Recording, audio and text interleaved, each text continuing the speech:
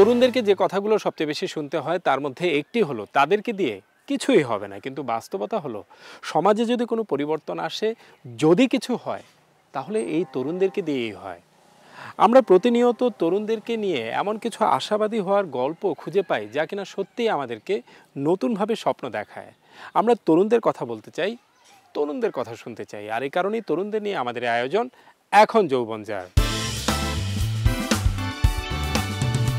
আমি আশিকুর রহমান চৌধুরী আপনাদের সবাইকে স্বাগত জানাচ্ছি।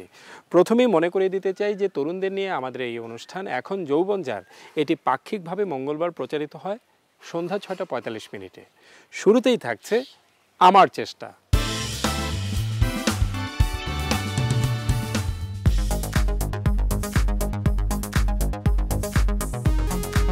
এখন পর্যন্ত আমার মাসে হচ্ছে চার লাখ টাকা প্লাস ইনকাম হয়েছে।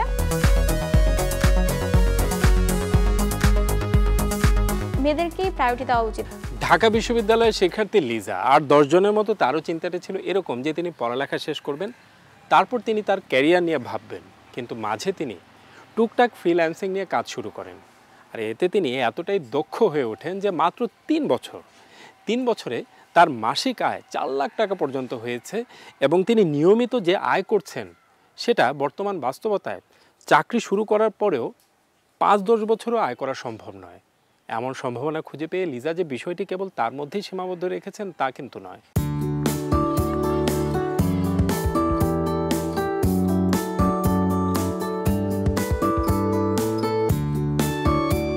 সত্যি অবাক হতে হয়, একজন লিজা যিনি কিনা এখনও শিক্ষার্থী, তার কাছে শত শত নারীরা সেই পথ খুঁজে পেয়েছে, যেখানে তারা ঘরে বসে মাসে লাখ লাখ টাকা আয় করতে পারে, নিজের পায়ের মাটিকে শক্ত করতে পারে। লিজা এই নারীদের কাছে এতটাই অনুপ্রেরণার নাম যে তার এক ডাকে ছুটে এসেছেন তাকে দেখতে যে লিজাকে তারা সবসময় দেখে থাকেন। তার কাছে অনলাইনে ফ্রিল্যান্সিং এর উপর প্রশিক্ষণ নেওয়ার সময়। আমার টোটাল ইনকাম গত বছরের জুলাই মাস থেকে এই আজকের হচ্ছে কত তারিখ? ফেব্রুয়ারি মাসে পঁচিশ তারিখ বলতে গেলে হচ্ছে প্রায় সাত লাখ প্লাস মাসাল্লাহ প্রত্যেক মান্থে হচ্ছে বিশ হাজার প্লাস যেহেতু আমি স্টুডেন্ট আমি একদম এটাকে পার্ট টাইম হিসেবে নিচ্ছি আপাতত ফুল টাইম নেই নেই। সে হিসেবে আলহামদুলিল্লাহ যথেষ্ট আমি আমি খুশি আমার কাজ দ্বারা। টোটাল ইনকাম হচ্ছে চার লাখ প্লাস আর সবই হচ্ছে লোকালে গত বছরের আগস্ট থেকে শুরু হয়েছে আমার জার্নি ক্রেডিট হচ্ছে লিজাপুর। ওনাকে ছাড়া আমি একটু কিছুই করতে পারতাম না মোট কথা। লিজাপু আছে বলেই আমি এখানে আজ দাঁড়িয়ে কথা বলতে পারতেছি।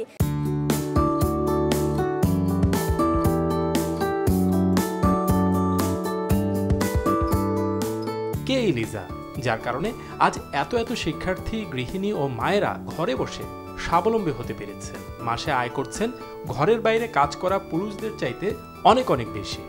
ঢাকা বিশ্ববিদ্যালয়ের শিক্ষা ও গবেষণা ইনস্টিটিউটের চতুর্থ বর্ষের শিক্ষার্থী, লিজা।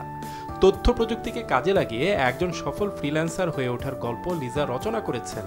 মাত্র তিন বছরে। তারপর সেই গল্প তিনি ছড়িয়ে দিচ্ছেন শত শত নারীর মাঝে। আমার মায়ের যে ব্যাপারটা দেখেছি অলওয়েজ কাজের উপরে থাকতে হয়। আমার মা চাকরিজীবী ছিলেন প্লাস বাসায় কাজ করতেন। তো আমার কাছে মনে হতো যে মা আমাকে সময়টা কম দিচ্ছেন। তো এই জন্য আমার মনে হতো যে আমি যদি তখনই আর কি ওই সময়টা মনে হতো যে আমি যদি ভালো কিছু করতে পারি, যদি ঘরে বসে কিছু করতে পারি, আমার যে ফিউচার জেনারেশন বা আমার যে বেবিরা হবে, তাদেরকে আমি হয়তো টাইম দিতে পারব। তো ওই সময়টা থেকে আমার আসলে ফ্রিলান্সিংটা আমি তখন তো জানতাম না, যখন আমি ইন্টারে উঠি তখন জানতে পারি। তো জানার পরে আমার, আমি যখন এই সেক্টরে আস্তে আস্তে সাকসেস হওয়া শুরু করলাম অ্যাট দ্যাট মোমেন্ট আমার মনে হচ্ছে যে আমার মতো তো এমন আরও অনেক মেয়েরা আছে যারা এই ব্যাপারে কিছু করতে চাচ্ছে। তো সেই থেকে আমার জার্নি শুরু হয় টোয়েন্টি টোয়েন্টি ওয়ান থেকে। আমি হচ্ছে একটা ফেসবুক গ্রুপ করি, যেটার নাম হচ্ছে কিছু করতে চাই গ্রুপ সেখানে আমি মেনলি মেন ফোকাস করছি মেয়েদেরকে।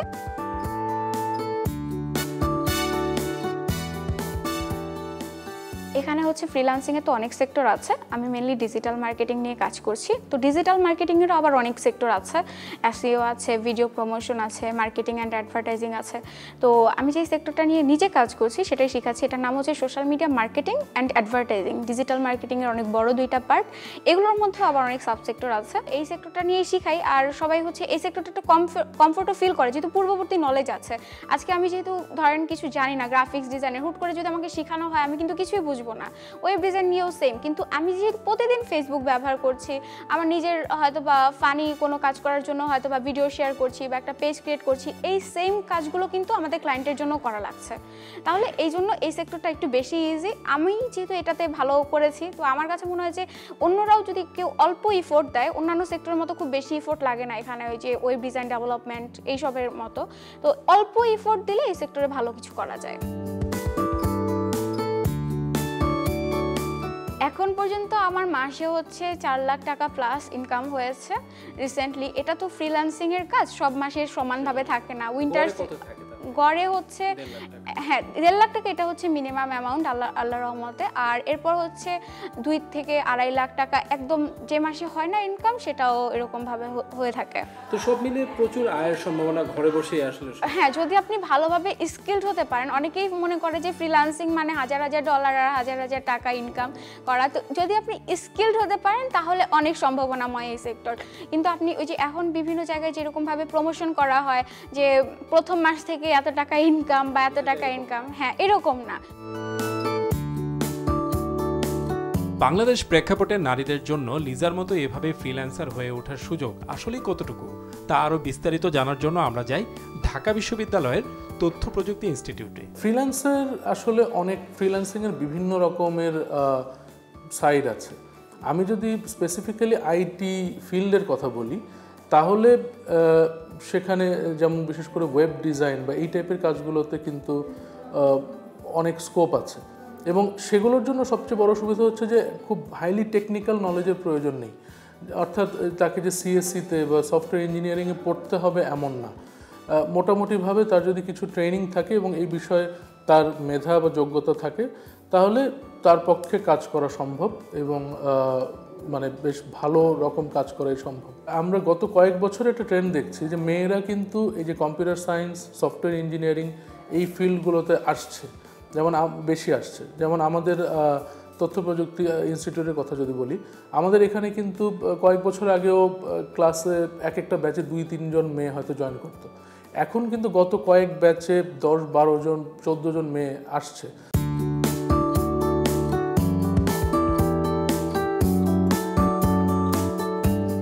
একজন ফ্রিল্যান্সার হিসেবে লিজা তার সফলতাকে কেবল নিজের মধ্যে সীমাবদ্ধ রাখতে চাননি, ছড়িয়ে দিতে চেয়েছেন অন্য সব নারীদের মধ্যে যেন তারাও ঘরে বসে তার মতোই স্বাবলম্বী হতে পারে। লিজা তাই অনেক নারীর কাছেই এখন একজন রোল মডেল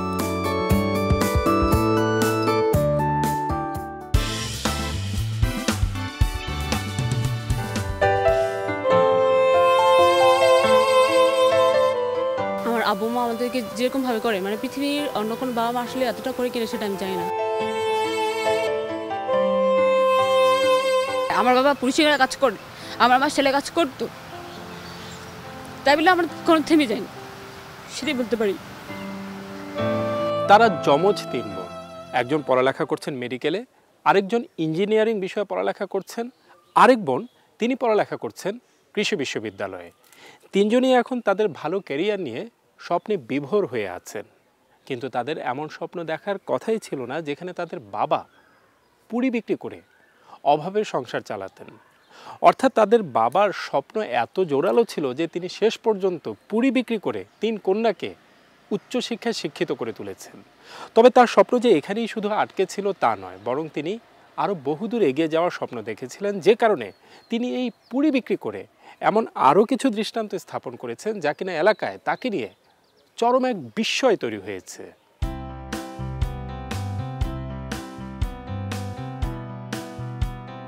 একসাথে জন্ম নেয়া এই তিন বোনের মধ্যে চিন্তাটি সবসময় কাজ করত যে তাদের জন্য তাদের বাবা মা যে ত্যাগ স্বীকার করেছেন, তার প্রতিদান কখনই দেয়া সম্ভব নয়। কিন্তু চেষ্টা করা, সেটা তো সম্ভব।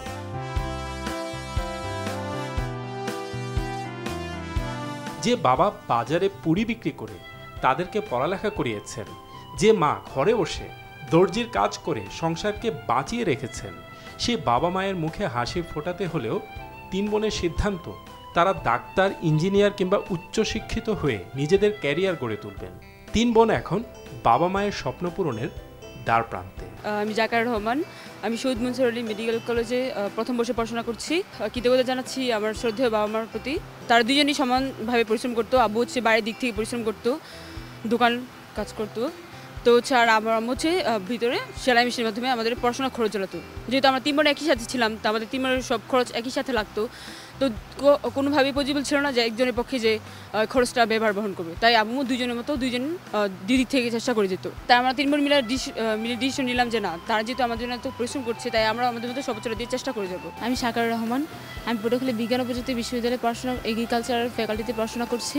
আমরা যেহেতু বিশ্ববিদ্যালয়ে এক একজন এক এক বিশ্ববিদ্যালয়ে পড়ালেখা করছি তো অনেকের পারিপার্শ্বিক অবস্থা আমরা দেখতে পাই। তো, যারা আমাদের এই গল্পটা শোনে, যেমন আমার টিচার্সরা আমার কলিগরা যারা আছে, তারা খুবই মনে করে মানে এটা তো জাস্ট মানে গল্পের মতো কাহিনী, এটা কি বাস্তব হতে পারে? যে একটা মা বাবার যে এরকম অবস্থা মানে আর্থিক এত টানাপোড়ানোর মাঝেও তাদের সন্তানদের একইভাবে চালিয়ে যাওয়া, যেখানে আমরা একজনই চালাতে মা বাবা তো হিমশিম খায়, তাহলে ওদের তিনজনকে কীভাবে মা বাবা চালায়? মানে সেটা তাদের কাছে গল্প, নিছক একটা গল্পের মতোই মনে হয়। আমার নাম সাবের রহমান।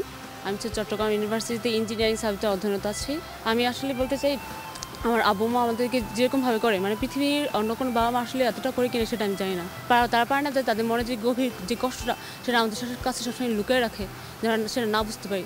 তো তো অন্যান্য ছেলেদের সাথে মিলে বুঝতে পারি যে আমার আব্বু মা আমাদের জন্য কতটা করে।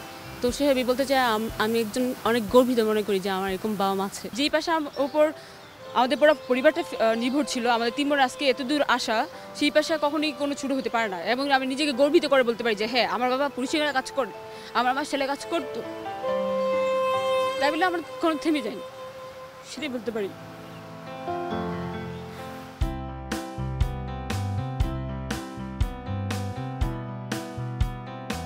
মজার ব্যাপার হলো, বাবা জিয়াউর রহমান যখন দেখলেন বাজারে পুরি বিক্রি করে তিনি সন্তানদেরকে উচ্চশিক্ষিত হিসেবে গড়ে তুলতে পারছেন এবং তার সন্তানরাও মেধার স্বাক্ষর রাখছে। তখন তিনি প্রচণ্ড প্রেরণা খুঁজে পেলেন পরিশ্রম করার। যে পরিশ্রমের ফলে এই পুরি বিক্রির পেশাকে তিনি এমন উচ্চতায় নিয়ে গেছেন, যা তার এলাকা নারায়ণগঞ্জের আড়াই হাজার উপজেলার মানুষের কাছে দারুণ এক অনুপ্রেরণা। ছেলেমেয়েদের লেখাপড়া করার ক্ষেত্রে আমার এই ছোট্ট একটা ব্যবসা দিয়ে প্রথম দিকে খুব হিমশিম খেতাম। তবু ছেলেমেয়েদের লেখাপড়ার বিশেষ করে মেয়েদের লেখাপড়ার ভালো অগ্রগতি দেখে, তাদের সফলতা দেখে, আমি দিন দিন ব্যবসায় শ্রম আরও বাড়া শ্রমও বাড়াই দিতেছি সময় বাড়াই দিতেছি। পরে দেখা গেল যে এক সময় আলহামদুলিল্লাহ ব্যবসা আমাদেরও ভালো চলতেছে। এই ছোট ব্যবসার মাধ্যমেও সততা এবং নিষ্ঠার কারণে আজকে তাদের লেখাপড়া করাই হোক, আমি থানা সদরে বাজারের খুব সন্নিকটে এই তিনতলা ভবন নির্মাণ করেছি, ছয়তলা ফাউন্ডেশন দিয়েছি, তিনতলা ভবন নির্মাণ করেছি। শুধু আমি মনে করি শুধু খালি এটা সততারই, সততা এবং নিষ্ঠারই উজ্জ্বল দৃষ্টান্ত স্বরূপ। আমার স্বামী পুরি বিক্রি করে, আমি ঘরে সেলাই কাজ করে, যে পরিশ্রম, দুজনেই যে পরিশ্রম করতাম।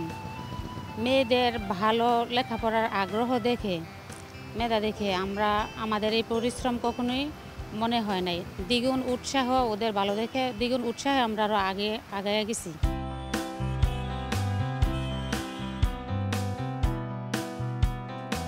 সন্তানকে উচ্চশিক্ষায় শিক্ষিত করার জন্য অভাবের সংসারে বাবা মা সর্বোচ্চ ত্যাগ স্বীকার করছেন। সন্তানরাও তাদের সর্বোচ্চ চেষ্টা দিয়ে ডাক্তার, ইঞ্জিনিয়ার, কৃষিবিদ হিসাবে নিজেদের ক্যারিয়ার গড়ে তুলছে। এভাবেই নারায়ণগঞ্জের আড়াই হাজার উপজেলার এই পরিবারটি সবার কাছে এক আদর্শ পরিবার। এই পর্যায়ে থাকছে দেশে দেশে তারুণ্য।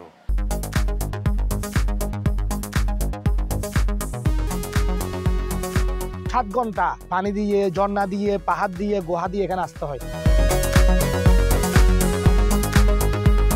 শিক্ষার আলো ছড়িয়ে দেওয়ার জন্য এই পাহাড়ি অঞ্চলে আসা।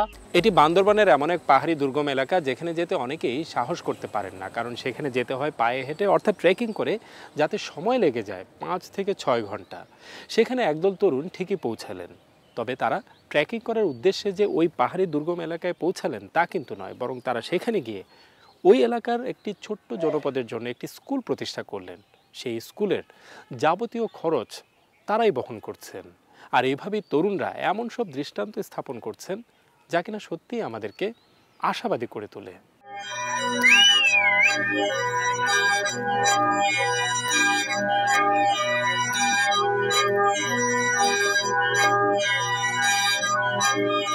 দীর্ঘ সাত ঘণ্টা পাহাড় বেয়ে শেষমেশ বান্দরবানের দুর্গম একটি পাহাড়ে পৌঁছাতে পারার জন্য নয় এই আনন্দ। বরং এই আনন্দ দুর্গম সেই পাহাড়ের ছোট্ট একটি জনপদে অনেক বড় একটি কাজ করতে পারার জন্য।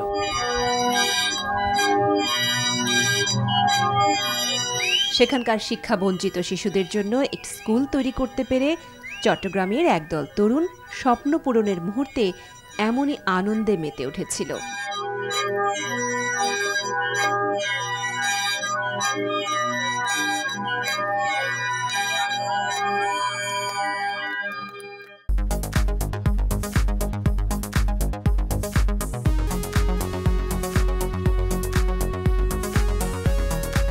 বান্দরবানের আলীকদমের কুরুক পাতা যেখানে পাহাড় বেয়ে যাওয়া ছাড়া অন্য কোনো বিকল্প নেই এবং যেখানে যেতে প্রায় সারা দিন লেগে যায়, সেরকম একটি দুর্গম পাহাড়ি জনপদে যে কোনো মূল্যে একটি স্কুল তারা প্রতিষ্ঠা করবেন, এমন লক্ষ্য নিয়ে যুবকরা রওনা হন গন্তব্যের উদ্দেশ্যে। এখানে কিন্তু যাতায়াতের ব্যবস্থা বলতে গেলে একদমই নেই।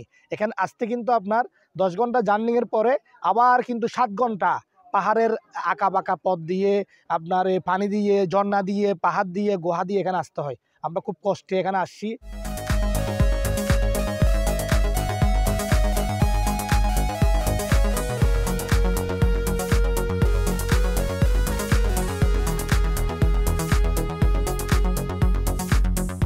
পাহাড় দিয়ে যেতে যেতে দেখা হয় শিক্ষা বঞ্চিত শিশুদের সাথে, যাদেরকে তরুণরা নাম দিয়েছে পাহাড়ের ফুল। এবং সেই নামেই স্কুল প্রতিষ্ঠা করার স্বপ্ন তরুণদের। মাছ। শামুক শামুক শামুক। চিংড়ি মাছ। হ্যাঁ এগুলো দেখেন এগুলো চিংড়ি মাছ মাছ। হ্যাঁ হ্যাঁ হ্যাঁ। এটা দেখি তোমারটা। তুমি পাইছো দেখি তো। চিংড়ি মাছ।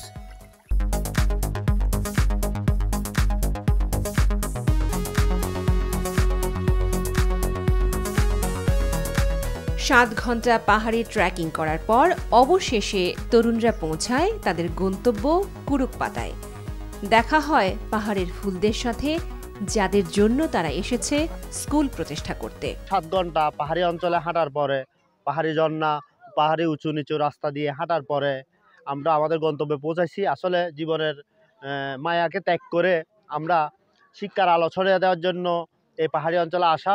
ইনশাল্লাহ আমাদের আশাটা সার্থক হয়েছে যে বাংলাদেশে বিভিন্ন প্রাথমিক শিক্ষা প্রতিষ্ঠান যেভাবে একটা মানের একটা সিস্টেমের মাধ্যমে কার্যক্রম শুরু করে, আমরা এই এই দুর্গম পাহাড়ি অঞ্চলে ঠিক একইভাবে আমরা আমরা রেজাল্ট করে শিক্ষা ফাউন্ডেশনের মাধ্যমে আমরা আমাদের কার্যক্রম শুরু করেছি।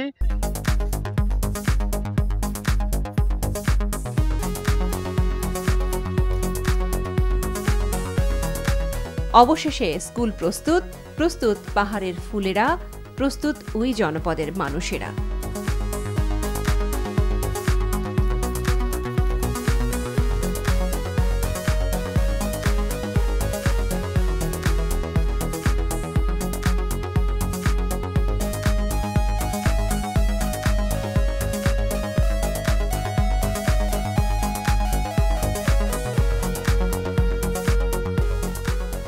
পুলদের স্কুল, যার নাম এখানে ওদের বাসায় তাপরাম পাও স্কুল। আমরা এখানে আসার একমাত্র উদ্দেশ্য হলো শিক্ষার আলোকে বিকশিত করার জন্য।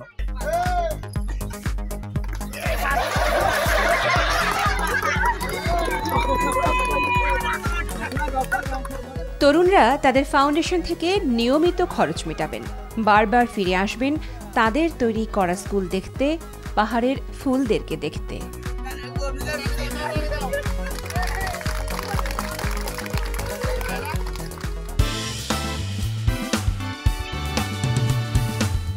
স্বপ্নটি এরকম দেখানো হয় যে আপনার কানাডা যাওয়ার সব কিছু হয়ে গেছে, এখন কেবল টিকিট কাটতে বাকি। এরকম স্বপ্ন দেখিয়ে লাখ লাখ টাকা হাতিয়ে নেওয়া হচ্ছে।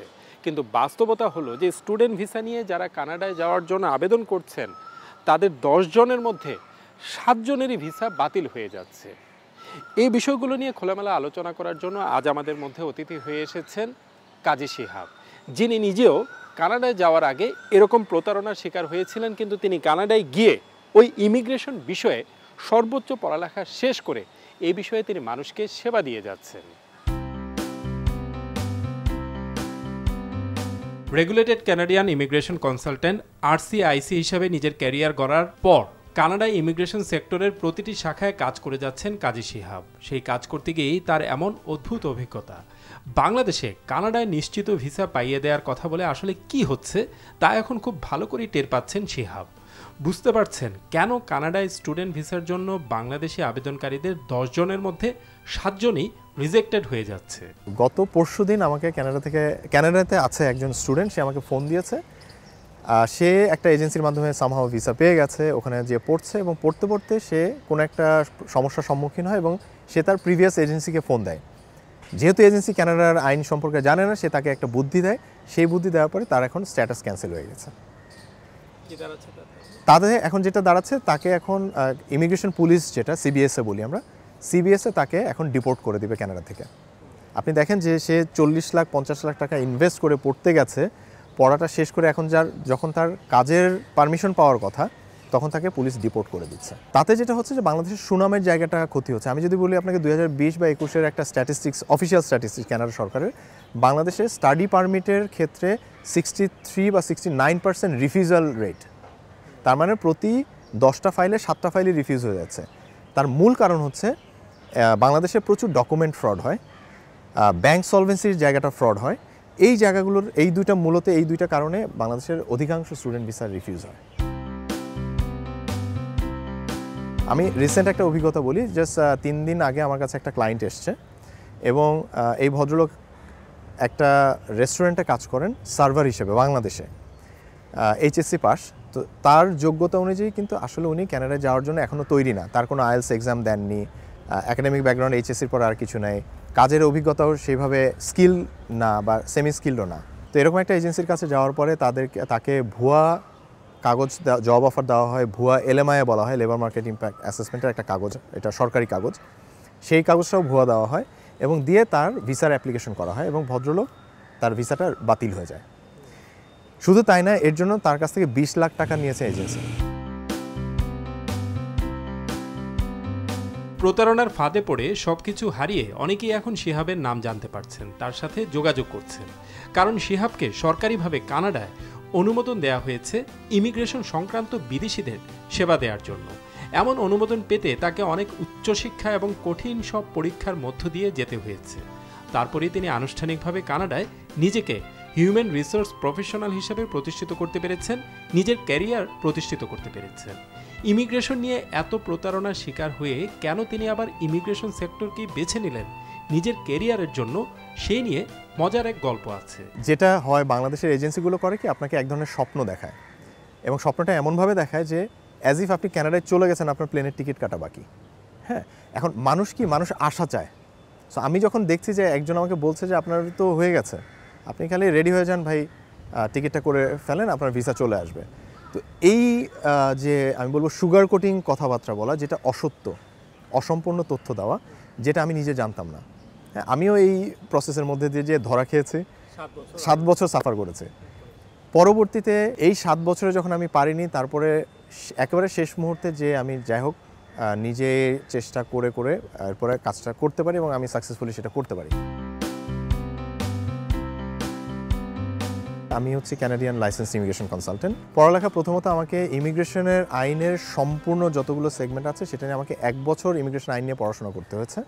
পড়াশোনা করার পরে আমাকে একটা ইন্টার্নশিপ করতে হয়েছে। এরপরে আইএলসে সিএলবি নাইন বলি আমরা, সেই ইকুইভ্যালেন্টের স্কোর করতে হচ্ছে একাডেমিক আইএলসে করার পরে আমি লাইসেন্স এক্সাম দেওয়ার যোগ্যতা অর্জন করি। এরপরে লাইসেন্স এক্সাম দেওয়ার পরে ওখানে আমাদের কম্পিটেন্সি এরিয়া বলে যে ইমিগ্রেশনের ষোলোটা সেগমেন্ট আছে। সেই প্রত্যেকটা সেগমেন্টে আলাদা আলাদা করে পাশ করতে হয়েছে। তারপর আমি লাইসেন্স পেয়েছি। সবশেষ কানাডায় যেতে ইচ্ছুক বাংলাদেশিদের জন্য কিছু গুরুত্বপূর্ণ পরামর্শ রেখে গেলেন কাজী শিহাব। যেহেতু আপনি পড়তে যাবেন স্টাডি পারমিটে আপনার ফাইন্যান্সিয়াল সলভেন্সিটা একটা বিশাল জায়গা। হ্যাঁ যদিও অনেকের জন্য যারা আমরা মধ্যবিত্ত আছি বা নিম্ন মধ্যবিত্ত আছি তাদের হয়তো স্বপ্নটা থাকলেও অর্থনীতির কারণে আমরা যেতে পারি না। আমি বলব এই প্ল্যানটা বেশ লম্বা সময় ধরেই করা উচিত এবং ফাইন্যান্সিয়াল সলভেন্সির জায়গাটা ঠিক করা উচিত। ফাইন্যান্সিয়াল সলভেন্সি যদি নিজের না থাকে, তাহলে তার ফার্স্ট সার্কেল রিলেটিভ যেটা হয়তো তার বাবা মা, যদি ম্যারিড হয়ে থাকে, তাহলে তার শ্বশুর শাশুড়ি বা তার ভাই বোন এই সার্কেল যদি কেউ তাকে স্পন্সর করতে চায়, সেটাও করতে পারে। কিন্তু যেটাই হবে, বৈধ থাকতে হবে, কাগজপত্র ঠিক থাকতে হবে, যদি চাকরিজীবী হয়, তাদের ট্যাক্স ফাইল ঠিক থাকতে হবে। আয়েলস ছাড়া, এই একটা জিনিস আমি বলে দিই, এটা প্রতারণা আরেকটা জায়গা। নো আয়েলস নো ক্যানাডা দর্শক, আমরা চলে এসেছি অনুষ্ঠানের শেষ পর্যায়ে। শেষ করার আগে তরুণদের উদ্দেশ্যে বলতে চাই, এটি আপনাদেরই অনুষ্ঠান। তাই আপনাদের বেশি বেশি মতামত আশা করছি। মতামত পাঠানোর ঠিকানা এখন যৌবন যার। এই তিনটি শব্দের সংক্ষিপ্ত রূপ E J J at NTBBD dot com আমাদের এই অনুষ্ঠানটি দেখতে পাবেন আমাদের অফিসিয়াল ওয়েবসাইটে W W W dot NTBBD dot com আবার আমাদের এই অনুষ্ঠানটি দেখতে পাবেন আমাদের অফিসিয়াল ইউটিউব কিংবা ভেরিফাইড ফেসবুক পেজে। দর্শক, আজ এই পর্যন্তই। ভালো থাকুন সুস্থ থাকুন নিরাপদে থাকুন আর অবশ্যই আস্থা রাখুন তারুণ্যের শক্তির উপর।